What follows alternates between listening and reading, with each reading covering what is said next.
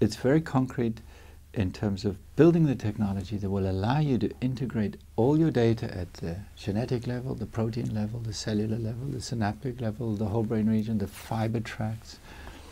Basically, our mission is to try to make sure that any data, any experiment that's done there, has a way to be integrated into the model. We believe that we can achieve that um, for the mouse brain within the first five years of this project.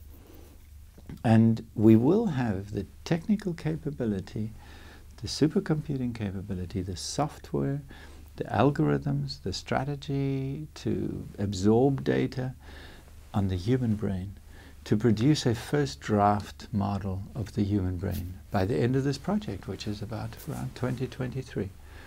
It doesn't mean that this brain is suddenly going to magically explain everything about the brain and how it works. We're still going to have to use this and and explore and do experiments, virtual experiments. That's what we call simulation-based neuroscience. We believe that's the future of neuroscience. That's why we call it future neuroscience.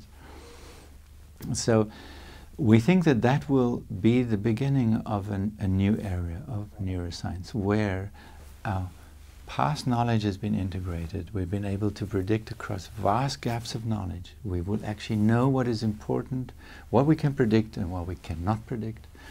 We will have achieved a, a fundamental understanding about many aspects of how the brain is designed, such as how many different neurons there are, how many um, way proteins are being distributed, how many proteins there are in a cell, how many interactions are occurring in the cell, um, how synapses are forming uh, in, to form networks, a generic understanding of connectivity in the brain. So the number of biological questions that we believe we're going to be addressing during the course of this 10 years uh, is, is phenomenal.